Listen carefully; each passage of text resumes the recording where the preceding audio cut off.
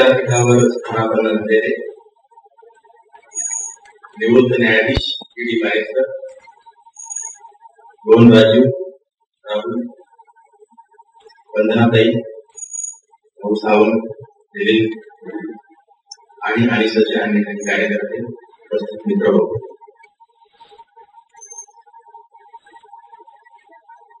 सगळ्यात पहिली गोष्ट म्हणजे अशा प्रकारच्या कार्यशाळेची गरज दिवसेंदिवस पूर्वी होती. आजही आहे. परंतु दिवसेंदिवस ती अधिकाधिक वाढत जाते आहे. आणि याच कारण नवी नवी आव्हानं जशी उपलब्ध होत आहेत समोर येत आहेत तशा नव्या नव्या संधी सुद्धा खूप मोठ्या प्रमाणात आपल्यासमोर उभ्या करतायत. आव्हानं आहेत आणि संधी आहे. तर आव्हानांचा सामना कसा करायचा? आणि संधींचा लाभ कसा घ्यायचा? या दोन्हीसाठी अशा प्रकारच्या कार्यशाळांची खूपच आवश्यकता आहे. आणि मी पूर्वी अनेक वेळा राहुलला अमितला आणि तशा अनेक कार्यकर्त्यांना शैलाताईंना या संदर्भात असं बोलत आलोय की आपल्याला एक रिसर्च अँड अनालिसिस म्हणजे त्या नाही पण सतत अभ्यास आणि संशोधन करण्याची गरज आहे. किंवा रिसर्च अँड ट्रेनिंग सेंटर आणि ते research and training centre applied स्वरूपात अपेक्षित केवळ अभ्यासासाठी अभ्यास करायचा. किंवा गतकाळातलं काहीतरी हुकूम काढायचं. किंवा स्वांत सुख आहे असं मला त्यातून ऐकता येत नाही. आजचे आपले सभोवतालचे प्रश्न समस्या समजून घेण्यासाठी समजावून देण्यासाठी आणि अर्थात सोडवण्यासाठी ते अभ्यास संशोधन रिसर्च व्हावं. ट्रेनिंग व्हावं अशी तुम्हाला अपेक्षित नसलेली रिसर्च अँड अनालिसिस किंवा रिसर्च अँड ट्रेनिंग सेंटर ही विंग आहे. आणि म्हणून मला त्याचा विशेष आनंद होतोय. आणि दोन आठवड्यापूर्वी जेव्हा मला असं विचारलं की अशा प्रकारची कार्यशाळा आहे तेव्हा मी त्याला तत्काळ आनंदाने होकार देण्याचं कारण तेच आहे. मला एक तास बोलायला वेळ दिलेला आहे. मी मोबाईलवर पन्नास मिनिटांच्या वर एक बेल लावलेली आहे. त्यानंतर दहा दहा मिनिटात मला ते गुंडाळायला पाहिजे. एका बाजूला जसा आनंद आहे व्यक्त होण्यासाठी उपस्थित आहात एक छोटी अडचण पण मला असे जाणवते. की माझ्याकडे सांगण्यासारख्या बऱ्याच गोष्टी असतील. परंतु तुम्हाला आता माझ्याकडून डॉक्टर दाभोलकरांच्या संदर्भात त्यांच्या लेखनाच्या संदर्भात लेखन शैलीच्या संदर्भात आणि एकूणच विचार प्रक्रियेच्या संदर्भात संपादनाच्या संदर्भात नेमकं काय आणि किती आणि कसं जाणून घ्यायचंय याचा मला पुरेसा अंदाज नसल्यामुळे यावेळी अमितशी पण बोलतो. आपल्या कार्यकर्त्यांना काय अपेक्षित आहे? आणि माझ्याकडे ऐवज तर खूप असणार. त्यामुळे मी काही मुद्दे फक्त नोट डाऊन करून घेते आणि त्यातले उपलब्ध वेळेत जेवढे शक्य आहे तेवढे मी पुढे स्पष्टीकरण किंवा संदर्भ देऊन मांडण्याचा प्रयत्न करेन.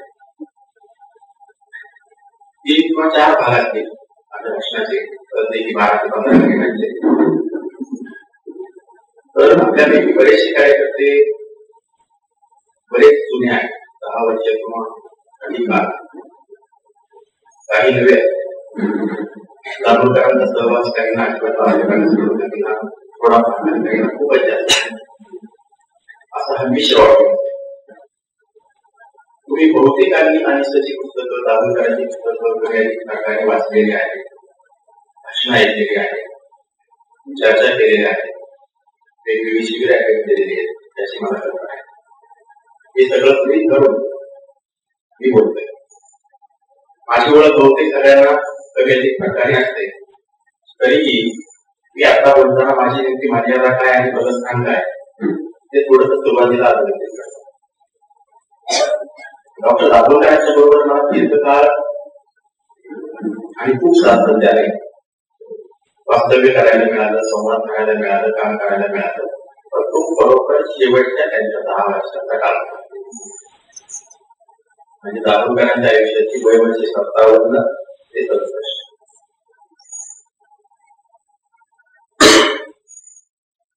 आमची पहिली जी भेट झाली. ती झाली पाच जानेवारी दोन हजार चार. आणि शेवटची भेट झाली ती त्यांच्या हत्येच्या दोन दिवस आधी सतरा तारखेला सतरा ऑगस्ट दोन हजार तेरा.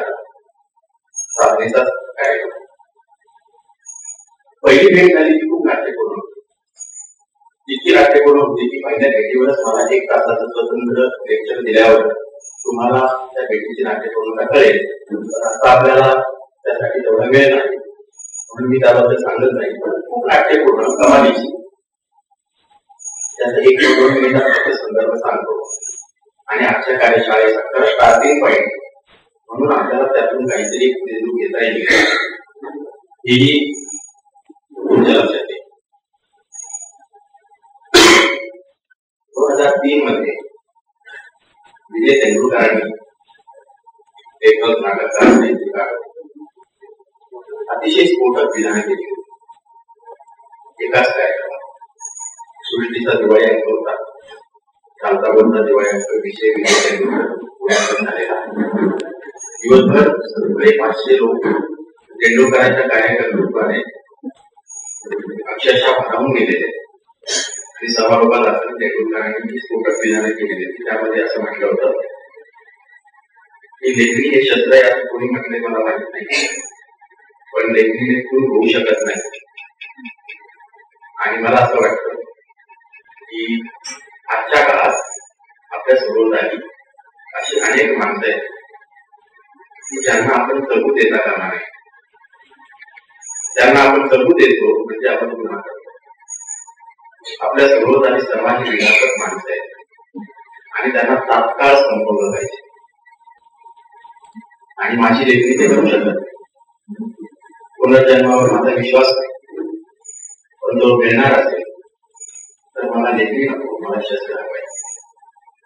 त्या शस्त्राने मला शक्य जेवढी जी माणसं आहेत त्यांना मी संपवी न्यायासमोर न्यायाधीशाच्या समोर कोर्टामध्ये जर मला केलं तर मी कोर्टाला सांगेन की होय त्या सर्व माणसांना मी संपवलेला आहे. आणि तुम्ही जर मला सोडलं तर उर्वरित ती कोणी समाज विघातक माणसं आहेत त्यांना मी सांगते. अशा लाईनचं दहा ते बारा मिनिटांमध्ये भाषण आणि दिवसभराचं कार्यकर्ते करतो तेंडुलकर किती महान साहित्य ही चर्चा. नऊ वाजता ते भाषण संपलं आणि शिपाई शिष्या पाचशे लोकांच्या सभागृहात सन्नाटा पसरला दीड दोन मिनिटं माणसं जागेवरून उठ्याला कार्यक्रम संपला आणि मग मी खूप नाट्यपूर्ण वर्णन ते करणारा एक दिला होता.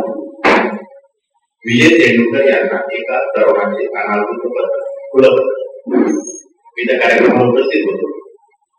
कार्यक्रमाच्या नंतर दुसऱ्या दिवशी खूप घणाघाती वाद संवाद तेंडुलकरांच्या बाजूने आणि विरोधात रस्त्यावर वर्तमानपत्रात टीव्हीवर खूप काय काय झालं त्यावेळी मी जे पत्र लिहिलं ते मी साधना साप्ताहिकाला पाठवलं तोपर्यंत साधनाची आणि माझी ओळख तोड ओळख होती? परंतु नागपूरकरांची आणि माझी समोरासमोर कधी भेट झालेली त्या आधीच्या चार पाच वर्षात डॉक्टरांची मी काही पुस्तकं वाचलेली माहिती गेली वाद संवाद विवेक जागराचा हा कार्यक्रम दोन तीन वेळा अटेंड केलेला साधनाचं दश आणि समजा दशकपूर्वी अधिवेशन जे झालं होतं पुण्यात शिवशंकर सभागृहात त्यालाही मी नुकताच उपस्थित राहिलो होतो. परंतु मी सगळं नाटकात तर माझं ते जे पत्र होतं तसं म्हणजे तीन मानांतर आहे.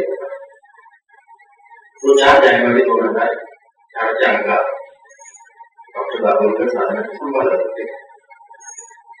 त्यांनी कवर करून प्रसिद्ध केला. आणि त्यानंतर त्यांनी आठवडा आठवड्याप्रमाणे ती पण कशी नाट्यपूर्ण झाली ते मी सांगत नाही. त्यांनी मला तीन वाक्य विचारले. की आपल्या या कार्यशाळेचा बीज लेख नाही म्हणणार की पण एक बीज म्हणा किंवा तिथूनच आपल्याला एक्सपांड करता. येईल त्यात म्हणाले ते की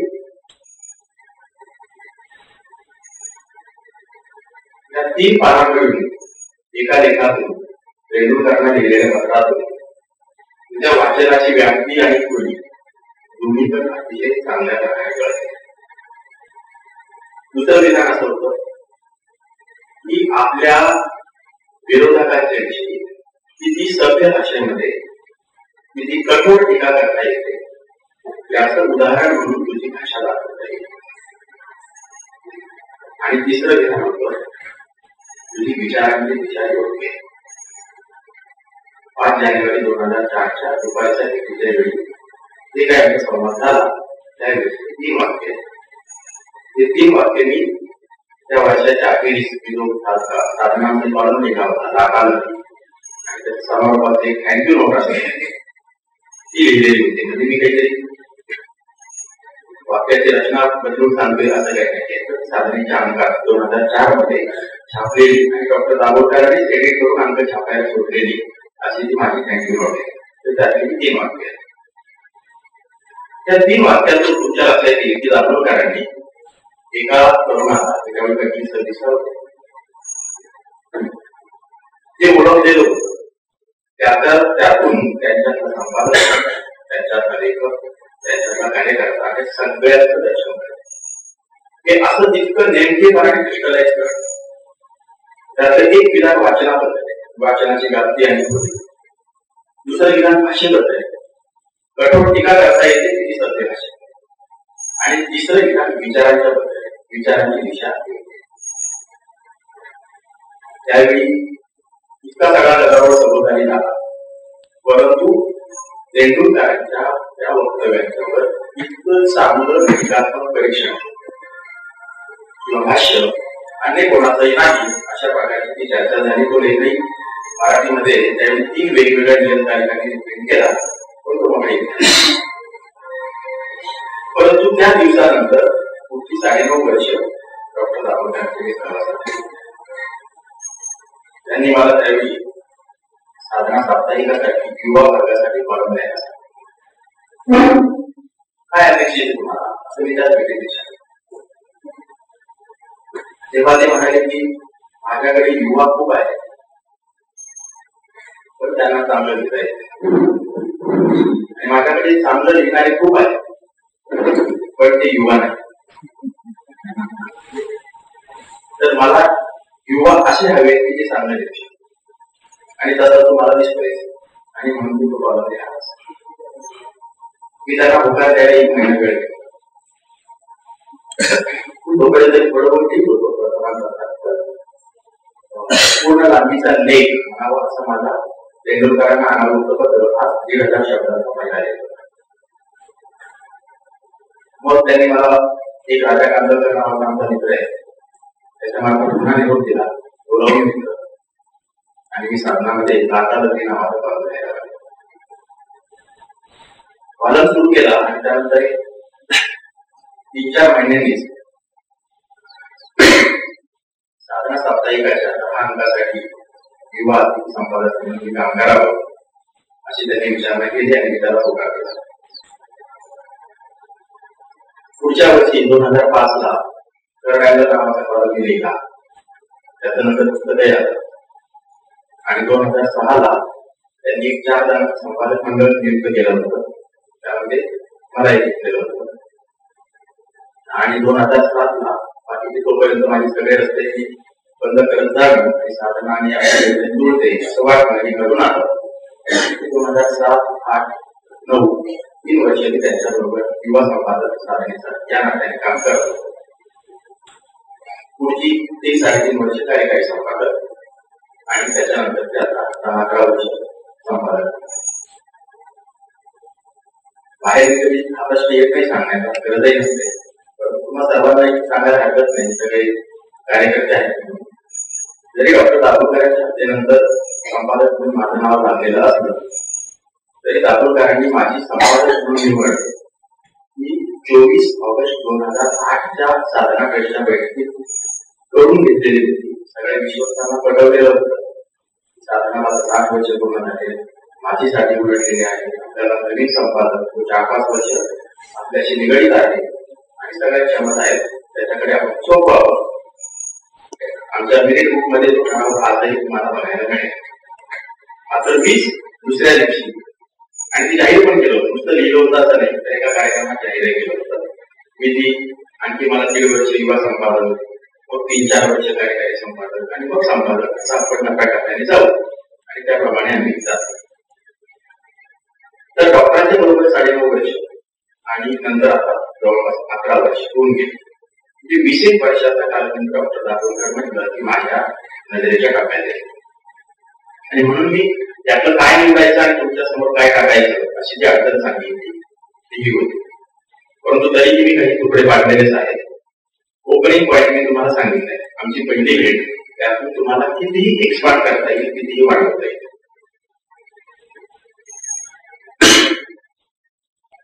आता साधनेमध्ये डॉक्टर दाभोलकर आणि माझा संपर्क आला तो प्रामुख्याने नाही तर पूर्णतः साधना त्यासाठी. आठवड्यातले दोन दिवस सोमवार आणि मंगळवार डॉक्टर पुण्यात असायचे. साधना करायला आणि त्याच्या बैठकी आणि अन्य छोटे मोठे कार्यक्रम असायचे पण प्रामुख्याने तो दोन दिवस साधना करायचे साधनाचे नियमित अंक साप्ताहिक आहे. म्हणजे वर्षभरात पन्नास अंक त्या दोन तीन दिवाळी. बालकुमार युवा दोन. तीन विशेष अंक काही पुस्तक वर्षभरात येणारे पाच सात पुस्तक. प्रकाशन समारंभ. अन्य कार्यक्रम उपक्रम व्याख्यान भाषण असं वर्षभर जे काही चालू असेल त्या सगळ्यांवरती डॉक्टरांनी मी विद्युत संपर्क आणि संवाद चर्चा त्या दोनही दिवसात दुपारचं जेवण आम्ही बरोबर देऊ शकत म्हणजे घ्यावंच लागत आणि या निमित्ताने मात्र आणि सगळे वेगवेगळे कार्यक्रम उपक्रम आणि समोरची आव्हानं संधी कार्यकर्ते पाहुणे असं याबद्दल थोडं ते मला सांगत होते काही वेळा विचारत होते. तर मला आणि सध्या व्यासपीठावर असं म्हणतात की मोजून त्या दहा वर्षात तीन किंवा चार फळ बोलवलं त्याचं कारण त्यांना सेपरेशन अपेक्षित असतं की साधनेचं सगळं घाणीसामध्ये आणायचं आणि साधनामध्ये घेऊन यायचं आणि लोकांच्या टीकेचं काय करायचं हा आपल्याही बाजूला सोडला तरी असं सेपरेशन ठेवल्यामुळे जास्त परिणामकारक काम दोन्ही संस्था संघटनांना करता येईल. आणि आवश्यक तिथे त्यांचा परस्पर समन्वय संपर्क संवाद राहील पण. असं त्यांचं गट तर मी तुम्हाला जे प्रामुख्याने सांगेल थेट त्यांच्या लेखनाबद्दल ते स्वाभाविकच साधनाच्या त्या साडेनऊ वर्ष परंतु साधनाचा त्यांचा कालखंड शेवटी. आवाज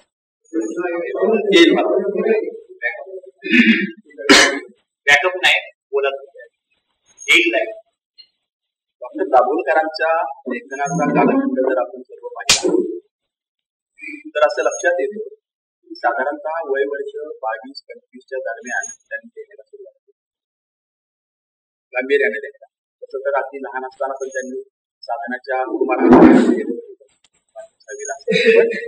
त्यांचं जे लेखन आपल्या हाती लागतंय त्यानुसार तेवीस चोवीसाव्या वर्षापासून शेवटपर्यंत तो कालखंड साधारणतः पंचेचाळीस वर्ष. त्याचे तीन भाग करता येते आणि सस काम त्यांनी सुरू केलं त्यांच्या आधी पंधरा वर्ष डॉक्टर शेवटची पंधरा वर्ष साधना साप्ताहिकामध्ये आणि ते अनिसशी संबंधित त्यातले बहुतेक विषय असायचे आणि मध्ये तीस वर्ष आहेत. ते तीस वर्ष मात्र अंधश्रद्धा कामाच्या संदर्भात त्यांनी लिहिले. या तीन भागाबद्दल खूप विस्ताराने बोलता येईल पण मी त्याचे थोडे थोडे काही उदाहरणं आणि एक झलक आपल्याला पाहायला मिळेल अशा काही गोष्टी. तर वयाच्या चाळीशीच्या टप्प्यावरती आणि सध्या काम करायला लागले आणि तीस वर्ष या तीस वर्षातून किती पुस्तक आली तुम्हाला माहिती आहे आणि मी पुस्तकाच्या शेवटी त्याबद्दल थोडस शेवटची पंधरा वर्षे साधनामध्ये होते त्याबद्दलही पुढे. परंतु सर्वप्रथम आणि स पण नाही आणि साधना पण नाही असा त्यांचा चाळीशी पर्यंत जो कालखंड आहे तो नीट समजून घेतल्याशिवाय दाभोलकरांचं लेखन त्यांची कृती विचार त्यांच्या भूमिका त्यांची स्पिरिट हे आपल्याला समजलं आहे. आणि स्वाभाविक लाईफ बिगिन्स ॲट फॉर्टी असं जे म्हटलं जातं ते काही छोटं आहे चाळीशी पर्यंत दाभोळकरांनी खूप काय काय गोष्टी करून पाहिलेल्या. त्यामध्ये कमी अधिक यश अपयश मिळाले. मात्र त्यांना खरी वाट सापडली. की आता या वाटेवरच आपल्याला आयुष्यभर प्रवास करायचा आहे. वयाच्या चाळीशीच्या टप्प्यावर आणि सध्या. आणि डॉक्टर गेल्यानंतर शैलाताईने जो साधना सापडली त्यातले एका त्यातल्या एकाने त्याचं टायटलही आणि वाट सापडली असं दिलं. त्याच्यामध्ये त्यांनी हेच दिलं की अनिसच्या आधी ते काय काय करत तर चाळीशीच्या आधी काय करत होते? तर त्यापैकी एक महत्त्वाचा भाग सर्वांना माहिती आहे की वयाच्या पंचवीशी पर्यंत ते कबड्डीपटू होते डॉक्टर होते. वैद्यकीय अधिकारी म्हणून त्यांनी सात आठ वर्ष काम केलं. त्याच काळात समाजवादी युवक दल या माध्यमातून वेगवेगळे कार्यक्रम एकत्र करत होते. परंतु त्यातले चार ते पाच महत्त्वाचे घटक खूपच दुर्लक्षित आहेत किंवा आपल्यापर्यंत आले आणि ते काम आणि त्यांच्या कामा इतकंच किंबहुना यापेक्षा जास्त कठीण त्रासदायक आणि ते सातारा आणि आसपासच्या परिसरात राहतो दलितांच्या साठी संवर्णांची संघर्ष एक गाव एक पानवटा या चळवळीमध्ये आणि केवळ प्रबोधनाचं नाही एक गाव पातळीवर जाऊन काही शेतकऱ्यांच्या जमिनी सावकारांनी उभारलेल्या असतात. कुठे नाटे कागदपत्र तयार करून कर्ज दिलंय त्या कर्जाच्या बंधात जमीन अशा प्रकारे जे काही व्यवहार झालेले असतात शेतकऱ्यांच्या जमिनी सोडवण्यासाठी डॉक्टर दाभोलकरांनी आणि अर्थातच काही सहकाऱ्यांना बरोबर केलेलं असतं. तिसरं रेशन दुकान रॉकेटचा काळा बाजार करणाऱ्या ज्या लॉबी आहेत त्यांच्या विरोधात त्यांनी म्हणजे एक गाव एक पाठवा दलितांच्यावर झालेले अन्याय शेतकऱ्यांच्या जमिनी सावकारांच्या ताब्यात आणि काळा बाजार करणाऱ्या लॉबीच्या विरोधामध्ये संघर्ष ह्या सगळ्या प्रकारात सुद्धा त्यांच्यावर हल्ले करण्याचा प्रयत्न झालेला आहे. ताईने त्या लेखातही सांगितलं आणि पर्सनली मला जे सांगितलेलं होतं त्यानुसार डॉक्टर दाभोळकरांचा आणि अनिसचा काही संबंध नव्हता साधनेचा काही संबंध नव्हता. त्याही काळात रात्रीच्या वेळी आसपासच्या खेडेगावातले आता मी जे बोललो यापैकी काही लॉबीचे लोक दाभोलकरांना मारण्यासाठी त्यांच्यावर हल्ला करण्यासाठी काही वेळा आलेले होते. म्हणजे धोकादायक काम करणं. हा काही डॉक्टरांचा स्वभाव अनिसमध्ये आल्यामुळे किंवा अनिसचं क्षेत्र खूप संवेदनशील होत म्हणून होता असं. हे खूप आधीच त्याच्याही मी आता खूप तपशिलात जात नाही परंतु योगायोगाने त्या आधीच्या कालखंडाबद्दल साधारणतः सतरा ते अठरा लेख साधना साप्ताहिकामध्ये आहेत तेव्हा दाभोलकर संपादक नव्हते त्यावेळी लिहिले गेलेले एका लेखक या नात्याने लिहिले. पहिला लेख एकोणीशे एकाहत्तर बहात्तरचा आहे. आणि संपादक होण्याच्या आधीचा लेख हा त्र्याण्णव चौऱ्याण्णव पर्यंत अठ्ठ्याण्णवला ते संपादक झाले. परंतु बहात्तर ते त्र्याण्णव या साधारणतः वीस एक वर्षांच्या काळात वीस एक लेख सापडले. गंमत म्हणजे दहा वर्ष मी त्यांच्या बरोबर होतो. असे ते लेख त्यांनी साधनामध्ये लिहिलेत हे त्यांनी मलाही घरी सांगितलेले नाही. इतरांच्याकडूनही मला कधी कळलेलं नाही. या दहा वर्षात मी अनेक गोष्टी रिप्रिंट केल्या तेव्हाही मला कधी लक्षात आले आमचं डिजिटल आर्काईव्ह गेली चार पाच वर्ष सुरू झालंय आणि आम्ही जसं जसं मागे मागे चाललोय. आणि या आता मी बोललो की बहात्तर ते ब्याण्णव त्र्याण्णव या काळातलं आर्काईव्ह गेल्या सहा आठ महिन्यात पूर्ण झालं. आणि आता या मी भाषणाच्या निमित्ताने शोधायला लागलो की किती पूर्वी लेख केले तर ते अठरा लेख आहेत. आणि अठरा लेखामध्ये मी आता जे उल्लेख केला आहे या घटनांच्या संदर्भातले आहे एका एक मानवटा आहे दलित मुक्तीच्या संदर्भात आहे. एवढंच नाही तर नंदुरबार आणि धुळे परिसरात आदिवासींच्या लढ्याच्या संदर्भातले पण एक दोन लेख डॉक्टरांनी प्रत्येक शेतीचे जाऊन त्या लढ्याच्या पुढे त्यामुळे मी कार्यक्षेत्र मागच्या आता मी जे सांगत होतो ते सगळं त्यांच्या चाळीशीच्या आधीच्या टप्प्यात. कंपनीबद्दल वैद्यकीय क्षेत्रात केलेल्या कामाबद्दल मी बाजूला ठेवलंय. परंतु ती जी पंधरा वर्ष होती पंचवीसशे ते चाळीशी आणि सच मध्ये पूर्ण त्यांनी स्वतःला करून घेतलं तोपर्यंतचा जो पंधरा वर्षाचा कालखंड आहे त्यातली मी ही जी तुकडे सांगितले आता हे फक्त आपल्याला हाती लागलेले प्रत्यक्षात ती पंधरा वर्ष बरीच झंझावाताची असते हे मी फक्त मी सांगितलं की माझी मर्यादा ही आहे की मी शेवटच्या दहा वर्षातच होतो आणि आता मी जे अठरा लेखांच्या बद्दल बोललो होते त्यांनी मलाही कधी सांगितलेलं किंवा बाहेरूनही कोणाकडून कळलेलं आणि ते सगळे कोणतेही वाचून लिहिलेले लेख नाहीये सगळे प्रत्यक्ष स्वतःच्या सहभागातून कामातून जे आकाराला आलेलं आहे ते सर्व लेख आणखी एक फार इंटरेस्टिंग गोष्ट हाती लागली.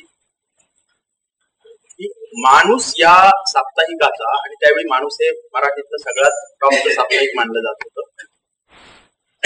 त्या साप्ताहिकात एकोणीशे बहात्तरमध्ये त्यांनी क्रीडांगण नावाची एक लेख मला वर्षभर चालवली. वीस पंचवीस लेख. त्यामध्ये कबड्डी सोडून अन्य क्रीडा प्रकारांच्यावर खूप सातत्याने आणि अतिशय वाचनीय छोटे छोटे हजार बाराशे शब्दांचे लेख लिहिले तेही मी आता आपण बाजूला ठेवू. पण भाषा शैली आणि एकूण क्रीडा विश्व हे समजण्यासाठी ते माणूस लेखमालेचे लेख खूप महत्त्वाचे गंमत म्हणजे ती माणूसमध्ये अशी लेखमाला लिहिली हेही आम्हाला माहीत ओझर तर ते बोलले असते पण खूप स्ट्रेस देऊन ते असं इतकं सातत्याने केलं इतकं काहीतरी खूप रोमॅन्टिक होतं असं कधी सांगितलं एक चार पाच वर्षापूर्वी आमच्याच एका सहकार्याला माणूसचं आर्काईव्ह शोधताना ती लेख मला सापडली. आणि मला त्याने सांगितलं की असे वीस बावीस लेख मग मी ते चार वर्षापूर्वी कर्तव्यवर क्रमशः प्रसिद्ध केले. माणूसच्या आर्काईव्ह मधले ते सगळे क्रीडांगण मधले वीस बावीस लेख तुम्हाला वाचायला मिळते. कर्तव्य आता मी जे शोधलंय त्याच्यामध्ये चळवळीच्या आघाडीवर असा एक लेख एकोणीशे त्र्याण्णवच्या साधना हिवाळी अंकाचा मात्र त्यामध्ये एक उल्लेख फार इंटरेस्टिंग तो असा की एकोणीसशे सत्तर साली मी एमबीबीएस झालो. आणि एकाहत्तर साली मला माणूस या साप्ताहिकाने एक अंकाचं संपादन करायला दिलेलं होतं. आणि तो अंक काय होता? तर ज्ञात अज्ञाताच्या सीमारेषेवर त्यावेळी मी वेगवेगळ्या क्षेत्रातील नामवंतांच्या मुलाखती ज्ञात आणि त्यात असं म्हटलंय की एकूण गुवाबाजी अंधश्रद्धा जादूटोना भानामती अन्य वेगवेगळ्या प्रकारची भीती हे सगळे विषय त्या एकोणीसशे एकाहत्तरच्या अंकामध्ये इतरांच्या मुलाखतीमधून कव्हर केले आणि मी त्याला जे टिपण लिहिलेलं आहे त्यांनीच लिहिलं मी त्याला जे शेवटी टिपण लिहिलेलं आहे त्या टिपणातली माझी भूमिका आणि आत्ताची माझी भूमिका ही जवळपास एकाहत्तरमध्ये किती वय होतं त्यांचं त्यावेळी? पंचेचाळीसचा जन्म पंचेचाळीस वर्ष. आणि अनिसची स्थापना पहिल्या अनिस जी काही अखिल भारतीय असेल ती पण ब्याऐंशी चौऱ्याऐंशी झाली. म्हणजे ब्याऐंशीच्याही आधी तब्बल दहा वर्ष अनिसच्या या कामाचं बीज त्यांच्या मनामध्ये स्वरूप नसेल आहे परंतु ते इतकं जुनं आहे हा मुद्दा मला अनिसचं आत्ताचं सगळं लेखन आपण समजून घेताना अधोरेखित करणं आवश्यक वाटतं. आणखी एक त्याच काळातला लेख आहे. तो आहे एक्क्याऐंशी एक्क्याऐंशीचा लेख आहे साधनातलाच. राष्ट्रसेवा दल आणि युवक विचार आणि व्यवहार. असं त्याचं टायटल आहे. आणि खरं सांगायचं तर सेवा दलाने आत्मपरीक्षण करण्याची गरज असा शब्द न वापरता जे काही मांडलेलं आहे ते त्यांनी त्या लेखामध्ये मांडलेलं आहे. आणि तो साधनामध्ये. त्यांना लिहायला सांगितलं गेलं असेल किंवा हे काम पाहून त्यांना वाटलं असेल. त्यामध्ये त्यांनी सगळ्या सेवा दलाचं पुरोगामी संस्था संघटनांच्या कामाबद्दल गौरवोद्गार काढून कामाच्या अडचणी सगळ्या करून समाज परिवर्तनाच्या क्षेत्रातील आजची नेमकी गरज काय? असा प्रश्न उपस्थित केला. एकोणीसशे ब्याऐंशीच्या लेखा आणि त्याच्यावर दिलेलं जे उत्तर आहे ते इतकं पिन पॉइंट आहे की त्या प्रकारचं उत्तर मला गेल्या पंधरा वीस वर्षामध्ये सार्वजनिक आयुष्यामध्ये कोणत्याही मोठ्या सामाजिक कार्यकर्त्याकडून नेत्याकडून ऐकायला आलेलं नाही. आम्ही कोणाचा अभिषेक करतोय अशातला भाग नाही पण वस्तुस्थिती आहे ती मांडली तर पाहिजे. त्याचं विधान आहे. समाज परिवर्तनाच्या क्षेत्रातील आजची नेमकी गरज काय हा मुद्दा घेऊन. त्याचं उत्तर दिलंय. एका गोळीचं उत्तर आहे. अन्यायाचा जमेल तेवढा त्वरित व तीव्र प्रतिकार ही आजची गरज हे ऍक्च्युअली खूप रॅडिकल आहे खूप जहाल आहे. पुढे त्यांचं वाक्य आहे त्याचं स्पष्टीकरण देणार स्थानिक व व्यापक पातळीवर प्रासंगिक प्रतिकार केला पाहिजे असे असंख्य प्रश्न आज मौजूद आहेत. मग ते त्या काळात जे काही प्रश्न हाताळत होते मी आता सांगितलं ते शेतकऱ्यांचे असतील दलितांचे असतील इथपासून तर आपल्या गल्लीचा कॉन्ट्रॅक्टर असेल आपण ज्या कार्यालयात जातो त्या कार्यालयाचा प्रचार असेल आणि अन्य सभोवताली जे काही आपल्याला घडताना दिसतोय कोणीतरी कोणाच्या विरोधात अन्याय करतोय अत्याचार करतोय या सगळ्या अन्यायाचा आणि अत्याचाराचा त्वरित आणि तीव्र प्रतिकार. अर्थातच त्याला लिहिलंय की जमेल तेवढा एका बाजूला सावधानतेने आपल्याला दीर्घकालीन लढाई करायची हे सांगताय. मात्र स्पिरिट तुमच्याकडे काय असलं पाहिजे? आणि जमेल तेवढा म्हणताना मला जमत नाही असं नाही तर माझ्या क्षमता वाढवणं पोटेन्शियल वाढवणं त्यासाठी संघटन वाढवणं हे त्याच्यामध्ये होईल हे सगळं जर पाहिलं तर मी डॉक्टर गेल्यानंतर त्यांच्या संपादकीय लेखांचं जे पुस्तक काढलं होतं साधनाचं. समता संघ. आणि त्यावेळी मला असं वाटलं होतं की समता संघामध्ये तेही मी त्यांच्याच लेखनातून टायटल काढलं होतं.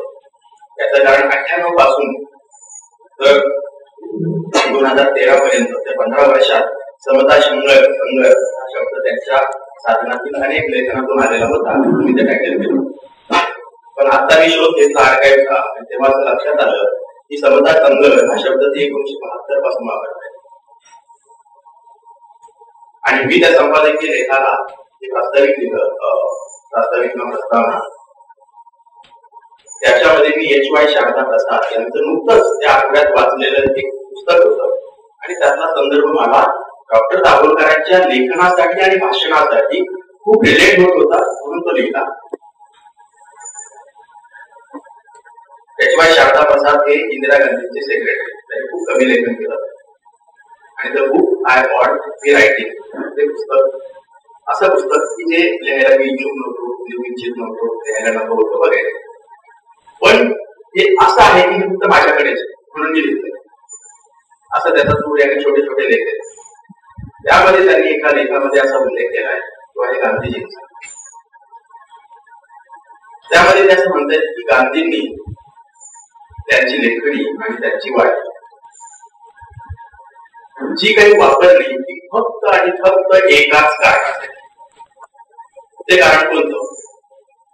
तर विचार आणि कृती या दोन्हीच्या मध्ये पूल बांधण्यासाठी. आणि मला ते तेव्हा असं रिलेट झालं होतं की डॉक्टर दाभोलकरांच्या बरोबर आपण नऊ साडेनऊ वर्षामध्ये जे काम केलंय त्यातून मला बहुतांश वेळा असं दाखवायचं की त्यांना चांगला लेख लिहिल्यावर चांगली अभिव्यक्ती झाल्यावर आनंद पण स्वाभाविक स्वतःचा असो माझा असो किंवा इतरांचा लेखन असो. पण त्यांचा पुढचा विचार कृतीमध्ये कसं येईल ते ऍक्शनमध्ये कसं जाईल? त्यासाठी काय करायला पाहिजे? हा थॉट त्यांचा असायचा. म्हणजे माझ्यात आणि त्याच्यामध्ये एक मूलभूत फरक राहिला मला एखादा प्रश्न नीट समजून घेतला व्यवस्थित समजून दिला की आता आपलं काम संपलं असं वाटायचं त्यांच्या बाबत नेमकं पुढचं होतं. की हे झालं पुढे काय? समजून घेतला समजून दिला. पण कृती करायला काही वाव आहे का? याचा अर्थ ते खूप निरस होते आणि उठसूट त्यांना प्रत्येक गोष्टी काहीतरी ऍक्शन पाहिजे होती असं नाही. कितीतरी तिथे ललित रम्य की याच्यातून कृती नाहीये तुम्हाला छान वाटत. एखादं चांगलं व्यक्तिचित्र असेल संगीतावरचा लेख असेल किंवा कलेवरचा लेख असेल ते असं वृक्षपणा असं काही नव्हतं पण बहुतांश वेळा आणि साधनेचा पेटही तसाच होता राजकीय सामाजिक. म्हणून जास्त लेख त्या प्रकारचे होते ते ऍक्शनमध्ये कसं तर मी असं म्हणालो होतो की शारदा प्रसादांनी गांधीजींच्या बद्दल जे लिहिलंय की लेखणी आणि वाणी ते कशासाठी झिजवत होते त्यांना बाकी रसच नव्हता. फक्त फुल बांधण विचार आणि कृती तर मी असं म्हणतो की मला डॉक्टरांच्या बद्दल कसं वाटतं? आणि ते नुकतंच वाचलेलं आणि खूप रिलेट झालेलं उगीच काहीतरी तुलना करायची गांधीची रिलेट करायचं असा प्रकार सुदैवाने मला करता येत नाही कळत नकळत झाला असेल तर गोष्ट वेगळी. पण आता मी हे सगळं आर्काईव्ह पाहिल्यावर मला असं वाटतं की मी समजत होतो त्याही पेक्षा ती जास्त बरोबर आता मी जी उदाहरणं तुम्हाला दिली की ऍक्शन पाहिजे कृती पाहिजे त्वरित प्रतिकार पाहिजे आणि खूप मोठा जागतिकीकरण विरोधी मोर्चा किंवा धर्मांधशक्तीच्या विरोधात किंवा साम्राज्यवादाच्या विरोधात हे तर आहे. पण या लढ्यात तुलनेने फार सोपे आहेत ते मोर्चे आंदोलन काढण्यासाठी खऱ्या लढ्या गाव पातळीवर स्थानिक पातळीवर आपल्या मोहल्ल्याच्या पातळीवर जे कोणी ठग असतील त्यांच्या विरोधात संघर्ष करणं मग ते बाबा बुवा असतील कॉन्ट्रॅक्टर असतील काळा बाजार करणारे असतील भ्रष्ट अधिकारी असतील किंवा राजकारणी असतील यांच्या विरोधातला संघर्ष खूप अवघड आहे. आणि हे डॉक्टर दाभोळकरांना होतं. आणि साधनामध्ये सातत्याने अशा प्रकारचं लेखन जर आलं तर त्यांना एक वेगळ्या प्रकारची ऊर्जा यायची लढायला बळ मिळायची. तर आता मी तुमच्या पहिलं चाळीस वर्षापर्यंत कालखंड सांगितला. आता मी शेवटच्या पंधरा वर्षात साधनेतलं त्यांचं जे काम होतं आणि त्यांनी काही चलन होते ते थोडेसे सांगले. पण यातून आता मी जसं माझं पहिली आमची भेट झाली त्यातून तीन मुद्दे सांगितले होते. भाषा विचार आणि भाषा याचा सगळ्यांचा संबंध हा लेखन शैलीशी आहे. सगळ्यांचा संबंध तुमच्या मांडणीशी आहे. तसंच आता मी सांगितले की लेखनी आणि मांडणी भाषणाच्या बद्दल येतं की केवळ मनोरंजन म्हणून भाषण करायला किंवा गाजवायला त्यांना रस नसते. कितीतरी वेळा मला माहिती की स्नेह संमेलनाला ते जायला तयार असायचे राजकीय लोक सिनेमाचे लोक त्यासाठी योग्य हायस्कूल साठी ते जायला तयार असायचे हायस्कूलच्या मुलांच्या कॉलेजचे असतील तरीही कसे कसे तयार करायचे त्यांचं म्हणणं असं असायचं की तिथे जाऊन माझा वेळ जात आहे फार काय लागत? त्यांच्यापर्यंत मी पोहोचवण्यामध्ये कमी पडतो. तिथं जाण्याबद्दल त्यांचा मुद्दा नव्हता. राज्य समोर जायला पाहिजे तरुणाच्या समोर जायला पाहिजे.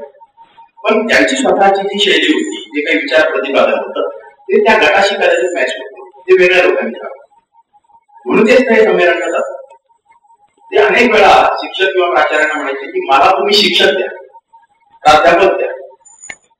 किंवा अगदी सिनियर कॉलेजचे चांगले तयार झालेले विद्यार्थी द्या त्यांची डोके जे काय असतील त्याच्यामध्ये मी काय वेगळी करायची असेल ती मी करेल तुम्ही मनोरंजन करणं आणि टाइमपास करायला हवं यातून हे सूचित होत. की विचार आणि कृती त्याच्यामध्ये पूर्ण त्यांना पाहतायचं साधनेमध्ये ते पंधरा वर्षात त्यांनी सरासरी वीस ते पंचवीस अग्रलेख दरवर्षी लिहिले. म्हणजे तीनशे प्लस अग्रलेख त्याच्या साधनामध्ये आहे. अग्रलेखाच्या व्यतिरिक्त त्यांना अर्थातच साधनेमध्ये फार काही लेख घ्यायला वेळ मिळणं शक्यच नव्हतं. सगळे मिळून पंधरा वर्षात आणि पाच सात देश मुख्य जे आहे ते आकडे त्याची पण अडचण असायची. की बाकीचं सगळं काम संपवून दोन दिवसात अंक संपायचा. त्यामुळे कोणत्याही विषयाचा अधिक सफल अभ्यास करणं संदर्भ पाहणं त्याला खूप मर्यादा मात्र खूप पटकन आपला सर्वोत्तम क्लिष्टकाईच करणं ही ताकद जी होती ती डॉक्टरांची आपला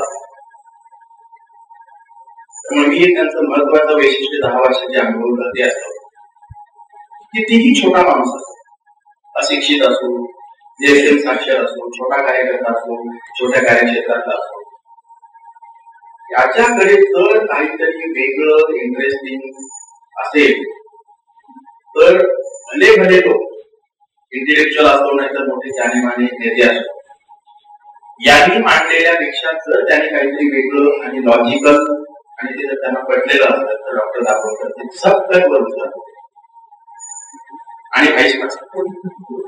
कितीही मोठी माणसं त्यांच्या बोलण्यातून वागण्यातून लेखनातून एखादा जरी असा ग्रुपवर दिसला त्रुटी दिसली की ती इलिमिनेट करणार? हे खूप महान आहेत. म्हणून ते जसं तसं स्वीकारणं हे दाखवतात कधीही केल्याचं मला त्यांना स्वतःला पण भागात असतात काही वेळा असं खूप मोठ्या माणसाचं म्हणणं आहे त्यांनी स्वीकारलं.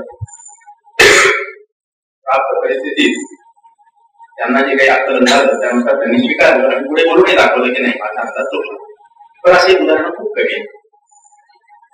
मात्र सामान्य नव्याचं छोट्याचं तर इंटरेस्टिंग असेल तर ते आणि मोठ्यांचं बरं मोठ्यांचं जर इलिमिनेट केलं त्यांनी सांगितलं काहीतरी विधान केले आणि ते त्यांना पटलेलं नाही किंवा इलॉजिकल आहे किंवा प्रॅक्टिकल नाही. तरी मी त्या मोठ्या माणसाच्या बद्दल काहीतरी चुकीची धारणा करून घेणं आणि या कसं कळत नाही असं करत मानवी मनाच्या मानवी क्षमतेच्या ज्या मर्यादा आहेत त्यांना कुठं आहे की हा महान नेता असेल हा मोठा खेळाडू असेल हा वैज्ञानिक असेल तो त्याच्या क्षेत्रामध्ये खूप मोठा आहे. पण अन्य बाबतीमध्ये इव्हन त्याच्याही क्षेत्रामध्ये काही बाबतीमध्ये तो खूपच पाठीमागे राहिलेला असू शकतो. हे त्यांनी मनोमन स्वीकारलेलं होतं. त्यामुळे अशा लहान माणसाचं काहीतरी एखादा मुद्दा उचललाय म्हणून त्याला डोक्यावर बसवायचं. असं जे करत नव्हते. तसं मोठ्या माणसाची काहीतरी त्रुटी सापडली म्हणून तुमचे लेखायचं असं एक याची मी खूप उदाहरण देईल पण आता मी तुम्हाला फक्त संपादकीय लेखातले नंतर पत्रव्यवहारातलं एखादं स्वतःच्या लेखनातलं एखादं माझ्या लेखनातलं एखादं असं देण्याचा प्रयत्न करतो.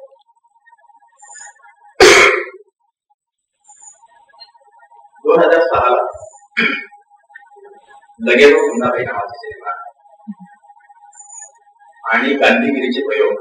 त्याच्यामध्ये जोरदार चालू होते. लोक लगेच हुंडाबाईच्या पद्धतीने शासकीय कार्यालयात जात होते आणि गांधीगिरी करत होते. राजकीय सामाजिक सांस्कृतिक क्षेत्रातले कार्यकर्ते खूप काय काय करत होते पुस्तकाच्या दुकानात बाहेर बोर्ड लागलेले होते. की गांधीजींची आत्मकथा संपलेली आहे कृपया विचारू नये आवृत्ती संपलेली आहे. अनेक मोठे गांधीवादी सेवाग्राम आश्रमामध्ये त्यांनी तीस तीस चाळीस चाळीस वर्ष घालवली. अशी माणसं त्यावेळी असं म्हणत होती की या एका सिनेमाने जे केलं ते गेल्या पन्नास वर्षात आम्हाला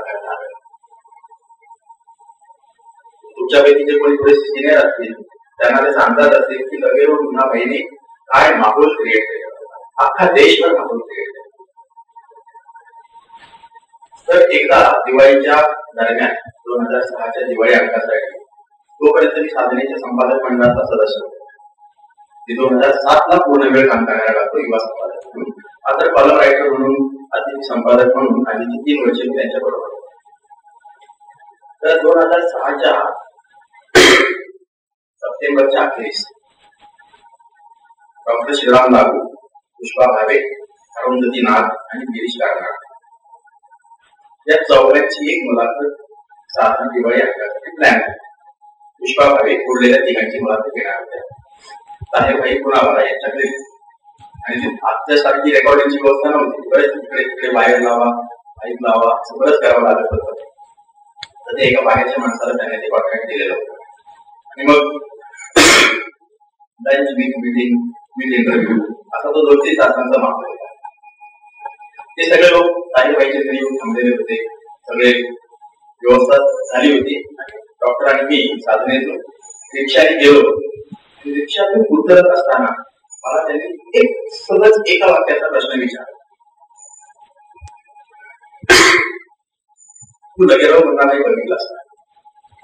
म्हटलं की कालच रात्री पाहिजे काय म्हणतो म्हटलं गांधीगिरी फार सोपी आहे असं त्यांना अनुभव नये प्रत्यक्षात नाही पण एवढं एक बाकी समजा आम्ही आम्ही आतमध्ये इंटरव्ह्यू झाला लंचच्या वेळी छान गप्पा झाल्या गप्पाच्या वेळी डॉक्टरांनी त्या सगळ्यांना प्रश्न विचारला सेम प्रश्न लगेच म्हणणार तुम्ही पाहिलाय सगळे आनंदीपासून गिरीश कर्नाड पुष्पाबाई आणि डॉक्टरला अरे खूप महत्वाचं काम चाललंय प्रॉमिसिंग सिनेमा आहे आम्ही अजून बघितलेला नाही. बघायचं आहे.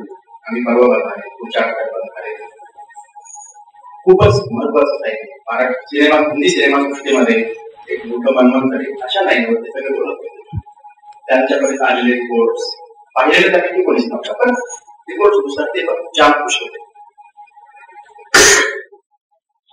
त्यांनी डॉक्टरांना विचारलं तुम्ही पाहिलंय का? म्हणजे मी पण नाही पाहिलेलं पण आमच्या या सहकार्याने पाहिलंय. आणि त्याचा अर्थ म्हणणं आहे. की गांधीगिरी फार सोपी असं त्यात दाखवलंय प्रत्यक्षात ती नाही. डॉक्टरांनी माझं वाक्य जसं तसं त्यांना कोणाच्याही चेहऱ्यावर काहीही रेश आली ठीक. त्याच दिवशी संध्याकाळी आम्ही यशवंत सुमंताच्या घरी गेलो. कारण पुढच्या दोन तीन दिवसांनी बारामती मध्ये अंधश्रद्धा निर्मूलनाचा शैक्षणिक जाहीरनामा अशी परिषद होती दोन दिवसाची. आणि त्याला पुष्पा भावे आणि यशवंत म्हणतात दोघांनी यायचं. आणि त्या दोघांना घेऊन येण्याचं काम त्यावेळी माझ्याकडे सोपवलं गाडी घेऊन. मी मला सांगितलं तिथे असताना दहा वर्षात आणि सध्या व्यासपीठावर त्यांनी मला चार किंवा पाच वेळा बोलावलं. त्यापैकी एक वेळ होती. तर सुमंताच्या घरी आम्ही कशासाठी गेलो? तर अंधश्रद्धा निर्मूलनाचा शैक्षणिक जाहीरनाम्याचा ड्राफ्ट फायनल करण्यासाठी. मग ते काय आधी त्यांनी केलेलं होतं. माझ्या एकदम सूचना होत्या. खरं तर माझी सूचना क्रिमी आणि आरक्षण कमी कमी करत कसं जावं भविष्य काळामध्ये मी त्याही वेळी केलेली त्याच्या आधीच्या साधनेच्या लेखातही मांडले ती मी त्या ड्राफ्टमध्येही मांडायला सांगितले तर ते दोघंही पुढे एकमेकांच्याकडे जरा बघून जरा पुढे पेचअप सापडल्यासारखं झालं. की सूचना तर लॉजिकल आहे. मात्र पूर्ण पाठणारी नाही आहे आणि आता सभोवतालचं वास्तव पाहता ते आमच्या अवघड पण जाऊ मी त्याही तपशिलात जात नाही. ते संपल्यावर सुमन सर आम्हाला जेवायला बाहेर घेऊन गेले. सुमन सरांना त्यांनी तोच प्रश्न विचारला. की लगेच कुणाला पाहिजे. ते म्हणजे आम्ही सह कुटुंब बघितलं. कसं आहे? उत्तम सिनेमा डॉक्टर म्हणाले पण गांधीगिरी फार होती असं त्याच्यात दाखवलंय म्हणून म्हणाले हो पण तरी गांधीगिरी सोपीच आहे. पण तिथं मात्र डॉक्टरांनी याचा असं म्हणणे असं सांगितलं. त्यांनी बघितलंय म्हणून मग माझं म्हणणं सांगायच्या प्रश्नापेक्षा त्यांचं मत विचारलं आणि त्यांना हे मत ऐकलं चर्चा दुसऱ्या दिवशी डॉक्टर बारामतीला गेले. मी पुढच्या दोन तीन दिवसांनी जाणार होतो. थेट परिषदेच्या दिवशी जाणार होतो. ते पूर्वतयारी करायला गेले आणि मी ह्या दोघांना घेऊन जाणार होतो पुष्पबाई आणि सुमंत. सुमंत सर हे खूपच मोठे विचार होतो. आणि आधी सध्या व्यासपीठावर कितीतरी वेळा बोलावले. गांधी अध्यासनाचे प्रमुख होते. पुणे विद्यापीठात. मला स्वतःला माहिती ते अतिशय आवडते खूप वैचारिक क्लॅरिटी देणार. डॉक्टर पुढे गेले. दुसऱ्या दिवशी मला त्याने फोन केला. तू आता एक दोन दिवस इकडे येणारच आहेस. आणि आपण सगळे रविवारी रात्री येऊ. सोमवारी अंक छापायला जायचं आहे. तर तू यावेळेचा आकडे लिहून आणतोस का? लिहून देऊन ठेवतोस का? म्हणजे आपलं काम सुरू होते त्याच्या वर्षभरात मी वाचन संस्कृतीवर प्रत्येक महिन्यातून एक अग्रलेख लिहित होतो आणि युवा संपादक म्हणून मी आधी काही लिहिले होते. पण त्या एक दीड महिन्यात काहीच लिहिले लिहितो पण काय? कशावर लिहावं? ते म्हणाले लगे म्हणणार सिनेमावर काय फोकस तुम्हाला तिकडे? हाच फोकस ही गांधीगिरी फार सोपी असं त्याच्यात दाखवलंय आणि तुला ती वाटत नाही का वाटत नाही. मी त्या दिवशी परत तो सिनेमा पाहिला. ती कोणा काढली. आणि मग मला ते का वाटतं तसं? ते मी आणलेलं केला छापून ठेवला. तिसऱ्या दिवशी बारामतीला गेलो येताना मी बरोबर आलो. दुसऱ्या दिवशी डॉक्टर माझ्या आधी ऑफिसला पोहोचले. आणि त्यांनी आग्रलेख वाचून ते म्हणाले की हे माझ्या मनात नाही. मी सिनेमा पाहिलेला नाही पण ते माझ्या मनात असंच छापायला गेला. त्याचं प्रचंड काय काय कौतुक झालं वगैरे त्याच्यात मी तपशिलात जात नाही करत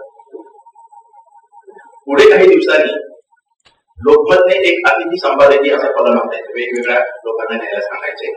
त्याच्या डॉक्टरांनी मला एक फोन केला आणि ते म्हणाले मी एक तुझी छोटी चोरी करतो तुझं काय करणार? तुझा जो हात लागेल पुन्हा माहिती आकडे त्याच्यात त्याची प्रतिपादन आहे स्टेटमेंट आहे ते मी माझ्या आकडे वापरणार आहे चोरी यासाठी मी सिनेमाच पाहिलेलं नाही म्हटलं. त्याने तो तीनशे चारशे शब्दाचा तो काही होता बाकीचे सगळे संदर्भ घेऊन लगेरो मुळे आताची पब्लिक कशी ओळखलेली आहे कशी एका मर्यादेच्या बाहेर त्याचा विरोध करते अशा लाईनवर दोन चार वाक्य लिहिले इतर काय काय होत. मी त्याच्यामध्ये त्या लेखाचं टायटल होतं कृपया गैरसमज करून घेऊ नका. गांधीचा मार्ग असा नाही गांधीगिरी अशी नाहीये. मग माझ्या पुस्तकात आहे त्यामुळे त्याच्याबद्दल मी आता बोलत नाही. पण त्याचा कन्व्हिन्सिंग पार्ट कोणालाही समजायला अवघड जाणार नाही म्हणून लगेच सांगतो.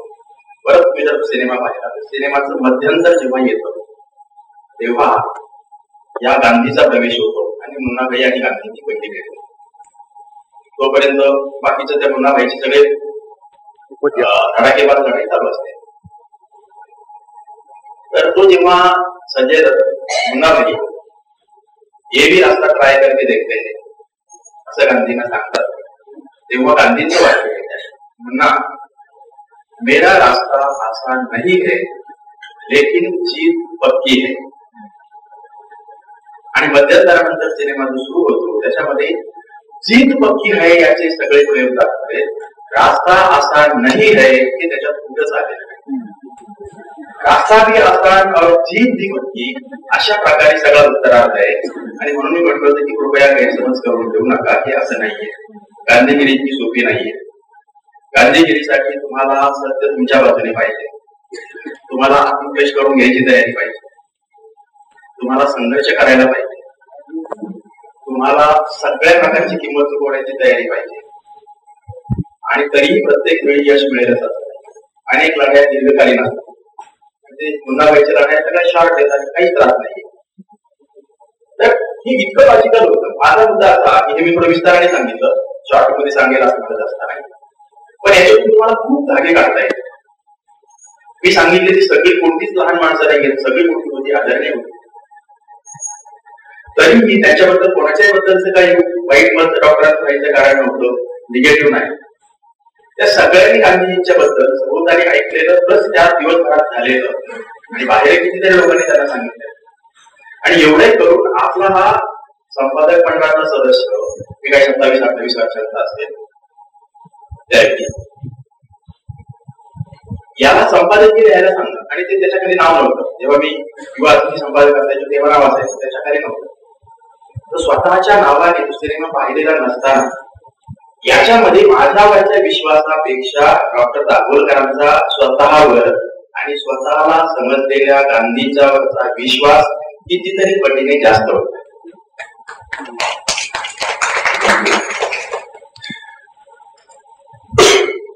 आता एक त्याच्या अगोदर उदाहरण देतो. दोन हजार आठ ला ज्यावेळी मोठी कर्जमुक्ती झाली कर्जमाफी झाली शेतकऱ्यांना. तर खरं तर अर्थकारण हा विषय डॉक्टरांचा आणि माझा नसायचा अर्थकारणावर आम्ही इतरांना लिहायला सांगायचो. आणि त्यावेळी हेमंत देसाईला डॉक्टरांनी लिहायला सांगितलं होतं की कर्जमाफी प्रकरणावर आणि त्यांनी पाठवला आणि तो खरं तर संपादकी जागेवर आम्ही काही वेळा अन्य लोकांचे लेख तेव्हा प्रसिद्ध करायचो आताही क्वचित अजून वर्षातून दोन वेळा चार वेळा तर हेमंत देसाईने लेख केला होता लेख चांगला होता. तर मी झाडासाठी घेतलेली होती. लेख तपासून झाल्यावर मला डॉक्टरने विचारलं की तुला काय कर्जमाफी प्रकाराबद्दल मी म्हटलं की जी चर्चा चालली ना तर त्या चर्चेपेक्षा एकच माझ्या मनात सूर घोळतोय. आणि ती चर्चा अशी होती की आता शेतकऱ्यांचं किती भलं केलं शेतकऱ्यांच्यावर कसं उपकार करतोय शेतकऱ्यांच्यावर सरकार किती उदार झालंय. आता काय त्याची जंगल आहे. किंवा आतापर्यंत सगळं कर्ज भाग म्हणजे आता त्यांच्यावरचा भाग हलका झाला. अशा लाईनवरती चर्चा चालू होते. आणि म्हणून माझ्या मनामध्ये ते वाक्य बोलत ते असं म्हटलं की ही कर्ज माफी नाही. ही क्षमा याचना तुम्ही माफी म्हणजे काहीतरी देणाऱ्याच्या आविर्भावात सगळेजण बोलताय सरकारपासून आपण सगळे मीडिया गेलो ऍक्च्युअली ही क्षमा याचना आहे की हे शेतकऱ्यांना आम्ही तुमची अशी दुर्दशा केलेली आहे. आम्ही तुमच्यासाठी अशी धोरणं आखलेली आहेत. आम्ही तुमची इतकी हेळसांड केलेली आहे की त्या हेळसांडीच्यामुळे तुम्ही इतके वाकलेले आहात इतके जर्जरित झालेले आहात तुमच्यावर असलेलं जे काही कर्ज आहे ते कर्ज परत करण्याची ताकदही तुमच्याकडे राहिलेली नाही. आणि ही आम्ही केलेली चूक हा आमचा गुन्हा आहे. म्हणून आम्ही माफी मागतो. आणि त्या माफी म्हणजे काय? तर आम्ही तुम्हाला ही कर्ज जे तुमच्यावर लादलंय ते कर्ज काढून घेतो. कृपया आम्हाला क्षमा करा. या लाईनवर ते मात्र वाचतो तर डॉक्टर दाभोलकरांनी त्यावेळी पुढे अंतर्मुख पूर्ण कारण त्यांच्याही माध्यमाला तुम्हाला ते विचारत होते. काहीतरी हलचल माध्यम ते म्हणले की त्याच्यातच आणि मग दुसऱ्या दिवशी त्यांनी जो लिहिलेला आहे ते फक्त टायटलचा आहे? टायटल फक्त माझे अगदी सगळं त्याने टायटल म्हणजे कसे पूर्ण पाहिजे ही क्षमा याचना आहे. कर्ज बाधित आता हे याचा खूप विस्तार करता येईल पण आपली पन्नास मिनिटाची बेल पण संपलेली आहे पुढे जातो म्हणजे स्वतःच्या लेखनासाठी काय प्रकारे त्यांची मानसिक तयारी असेल आणि काय ऑर्गनाईज केलं असेल आणि दुसऱ्या दिवशी तो लेख केला तोही लेख दोन तीन वेगवेगळ्या ठिकाणी नंतर झाला होता. नागपूरला नागपूरमध्ये झाला होता. नरेंद्र गांधीवारांनी एक मेल खाली होता त्याने रिप्रिंट केला होता. त्यानंतर ती जी वाक्य होतं ते वाक्य लिहून लोकांनी आणखी काय काय चर्चा वगैरे घडवल्या वाक्य वेगळा आता मी प्रतिसादचं उदाहरण देतो. एक कवितेचं प्रतिसाद विरोधात्मक असेल टीकात्मक असेल आणि भाषेची सभ्यता असेल तर बिंदास लागू काही वेळा लोक असं म्हणायचे की तुम्ही हे छापणार नाही त्या वाक्यात सुद्धा छापलेलं आहे काही वेळा त्यांनी बऱ्यापैकी आक्रमक टीका केली आणि शब्दशः अक्षरासह म्हणजे त्यांचं स्कॅन करूनही टाकलेला आहे. असंही दोन मला त्यावेळी त्याचं कारण स्वतःचा स्वतःबद्दल विश्वास असेल आणि आपल्या भूमिकेबद्दल जर तुम्ही ठाम असतात. तर ठिकाणी अडचण काहीच नसते कमालीचा आनंद असतो. आणि तो आनंद मी पण अनेक वेळा भोगवलेला आहे. आता इकडे अंगाचे तुम्हाला बघायला पाहिजे एका रिटायर्ड आय एस अधिकाऱ्याने राजीव गांधींच्या माझ्या दोन आकड्यावर कडवी टीका केलेली आहे. आणि ती खूप प्रॉमिनेंट जागेवरती छापलेली असं. हे डॉक्टरांच्या पासून मी शिकलेलो आहे. तो आनंद घेण्याचं आणि तो आत्मविश्वास वाढवण्याचा. त्यामुळे मी प्रतिसादबद्दल फार बोलत नाही. एक पत्र असं आलं होतं. दोन हजार सातच्या मध्याला. की डॉक्टर प्रवासावर आले. त्याच्यातून त्यांनी एक दोन चार पानं एका कागदावर लिहिलेले माझ्याकडे काढले ते म्हणाले हे बघ तुला प्रतिसादमध्ये तिथे वाचलं भेट केलं आणि ते त्यांच्या संपादकीय लेखावर संपादकीय लेखावर नाही त्यांच्या एका नोटवरचं ते पत्र त्यांनी संजय संघवीचा मृत्यू झाला. तेव्हा संजय संघवीला एक आदरांजली अर्पण करण्याची नोट लिहिली तिच्यामध्ये संजयमध्ये कसा संचय होती प्रामाणिकपणा होता अभ्यास वृत्ती होती. आणि स्वतःच्या प्रकृतीकडे दुर्लक्ष करून झोपून देण्याची वृत्ती होती. अशी एक चार पाच विशेषण लावले आणि ते पत्र असं होतं की तुम्ही संजय संघवी या कार्यकर्त्याचं मोठेपण सांगताना स्वतःच्या प्रकृतीकडे दुर्लक्ष करून झोपून देण्याची वृत्ती याला गुण मानलेला आहे. तर हा वस्तू अवगुण आहे. आणि कार्यकर्ते जर स्वतःच्या प्रकृतीकडे दुर्लक्ष करून झोपून द्यायला लागले तर एकूण काम कसं पुढे जाणार नाही. अशा प्रकारे दोनशे तीनशे शब्दांचं ते पत्र होत. ते पत्र मी कॉपी एडिटिंग केलं आणि त्याचं टायटल त्यातूनच काढलं. ते होतं की कशासाठी उतरावे तंबू होतो आणि ते पत्र कोणी लिहिलं होतं? ते पत्र हमीदने लिहिलेलं हमीद तोपर्यंत लेख म्हणून काही पब्लिश झालेलं नसावं. किंवा आधीच किरकोळ काहीतरी असेल पण त्याच्या आधी लेखनाची सुरुवात असते आणि माझी त्याच्या आधी एक दोन वर्ष सुरुवात असते कविता दिवाळी अंकांच्या मध्ये येणं.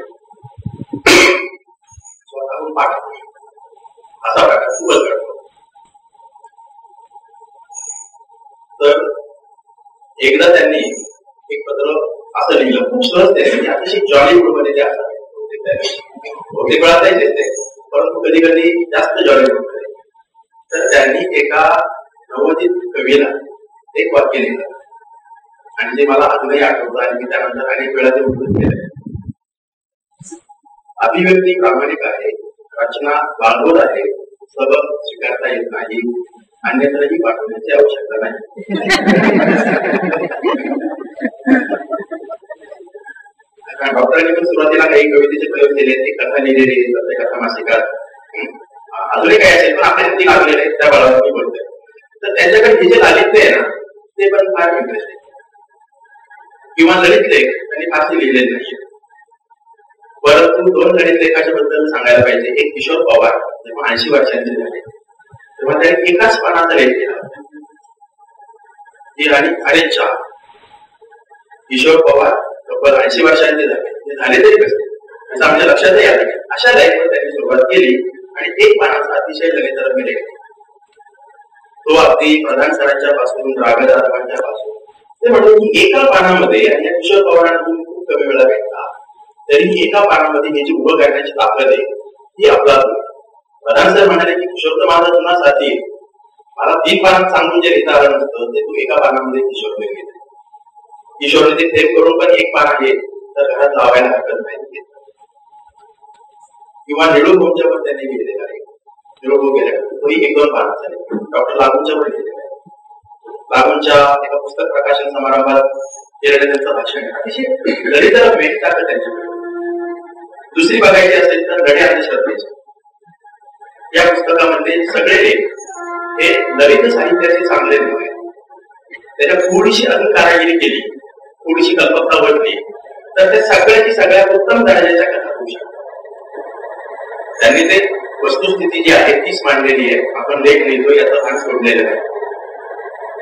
त्यातलाच डॉक्टरांचं हत्या झाली त्याच वर्षी त्या बालकुमार अंकात डॉक्टरांचं काहीतरी पाहिजे आहे काय घ्यावं? म्हणून मी जे निवडलं होतं तर लढे अंधश्रद्धेचे मध्ये भूतांच्या संदर्भातलं जे प्रकरण आहे त्याच्यातला एक असा क्राफ्टिंग केला होता. संदर्भ न जोडताना गमावता भूतांच्या शोधात अमावस्या आणि ते पाचवी ते आठवी दहावीच्या मुलांच्यासाठी ते प्रकरण काढले. त्या वर्षीच्या बालकुमार अंकातील सर्वाधिक वाचला गेलेला लोकप्रिय ठरलेला तो एक गोष्ट आता डॉक्टरांचं नाव होतं त्यामुळे शांत झाली किती ती कोणीतरी लागते नाही वाटत. त्याच्यामध्ये एवढं पोटेन्शियल होतं की लोकांना प्रत्येकाला ज्या अशा प्रकारे अपील करणार प्रत्येकाला त्यातून पुढे काहीतरी घेऊन जायला लागणार असं आणि प्रत्येकाला आपल्या आधीच्या अनुभवाशी रिलेट करणार होतं. त्याच्यावर कोणीतरी वेगवेगळे प्रयोग केले अभिवाचन केले वगैरे. त्यामुळे लालित्याचं अंग त्यांच्याकडे होतं. आणि या सगळ्याचा संदर्भ हा त्यांचं वाचन हे सतत चालू जो वेळ मिळेल. कमी मिळायचा आणि वाचनासाठी वेळ मिळत नाही ही तक्रार येते शेवटच्या काळामध्ये. कितीतरी वेळा म्हणाले की असं वाटतं की आपल्या आयुष्याचं बराकीकरण झालंय. एक वर्षभर सगळं जोडून द्यावं आणि फक्त वाचनासाठी वेळ द्यावा. तंत्रज्ञान हाताळण्याच्या बद्दल तेवढे सांगले ते असं म्हणायचे की खर तर कम्प्युटर आपल्याला नीट चालवता यावा शिकवता यावा ईमेल आणि बेसिक गोष्टी. यासाठी दोन एक महिने तरी मी रजा काढणं गरजेचं आहे किंवा साधनाचं डिजिटल आर्काईव्ह केलं. पाच वर्षाला मी खूप मोठ्या प्रमाणात केलेलं आहे. कुठे होतो आणि कुठे गेलो असं. परंतु याचं विचारोपण सुद्धा दोन हजार सहा सातला. त्या काळात जी काही उपलब्ध साधनं होती त्यामुळे ते जीवी झाल्या फाईल्स अनोखे लोक ते जरी असलं तरी या सगळ्या प्रकारची मुहूर्तमेढ त्याचं महत्त्व हे खूप काळाच्या आधी डॉक्टर दादोकरांनी ओळखलेलं होतं. दोन हजार सहा ला साधनाने वेबसाईट केली तेव्हा एकही वेबसाईट मराठीतल्या नियतकालिकांनी केलेली नव्हती. पूर्ण साठ वर्षाचे अंक स्कॅन करून ठेवण्याचं काम साधने एकट्याने केलं होतं. आजही ते काम असं तर आता मी सगळ्या गोष्टीचे धागे घेऊन तुम्हाला त्यांची विचार प्रक्रिया त्यांची लेखनशैली भाषा वाचन याचे विस्तार किती बोलता येईल पण आपल्याला वेळेबद्दल नाही येत